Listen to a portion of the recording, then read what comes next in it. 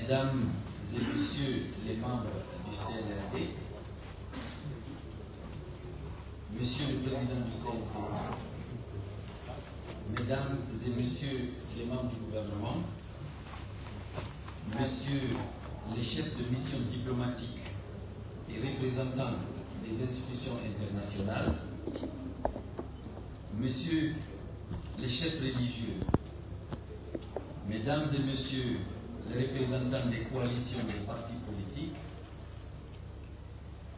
de la société civile et des associations de presse. Mesdames et Messieurs, honorables invités, en vos rangs, qualités et titres, tout protocole observé.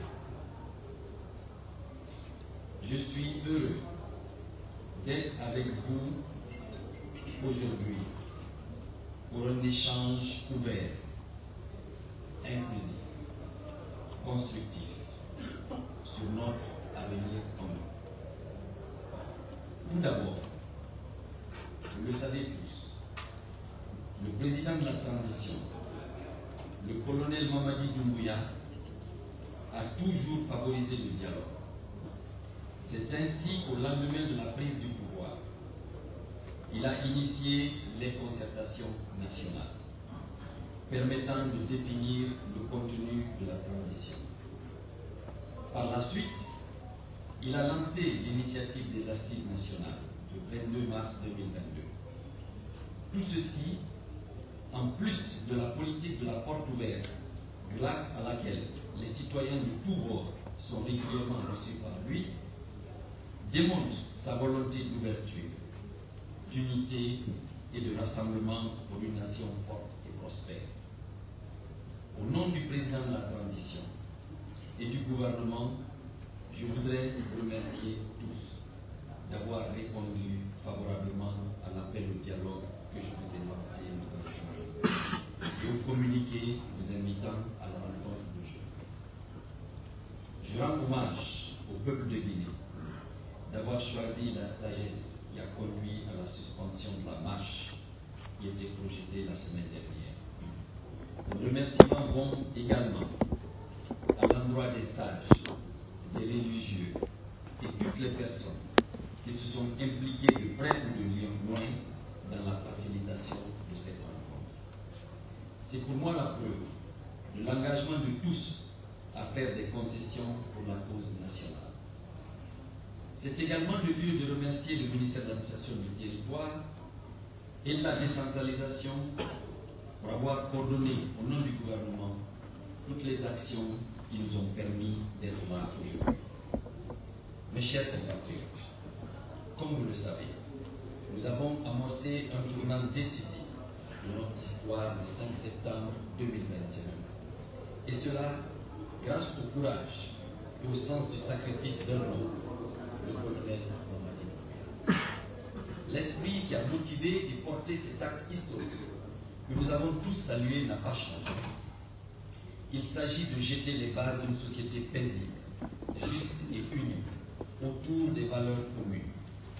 Il y a encore six mois, j'ai indiqué dans la feuille de route que j'ai présentée au président que notre objectif est de bâtir des institutions démocratiques, solides et crédibles, qui résisteront au temps et à la tentation des hommes. L'enjeu est de garantir l'exercice et le respect des libertés fondamentales, ainsi que les règles de bonne gouvernance indispensables au développement de la vie.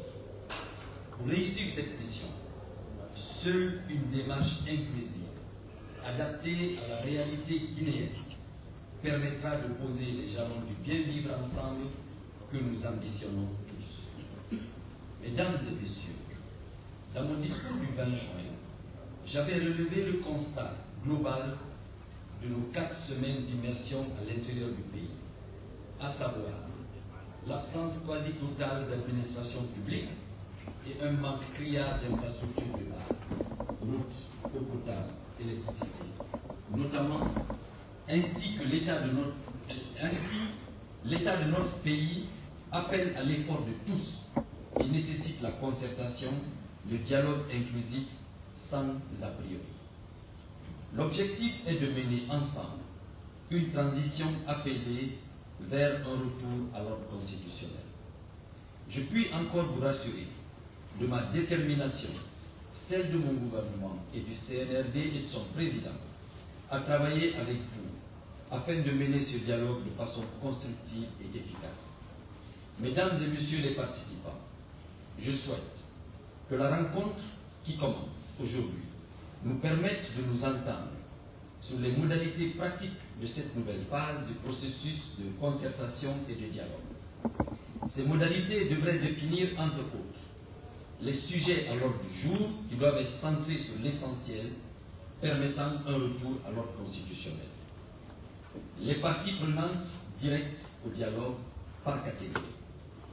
À ce stade, je préfère m'arrêter pour un moment, vous écouter et recueillir vos avis préliminaires de manière brève.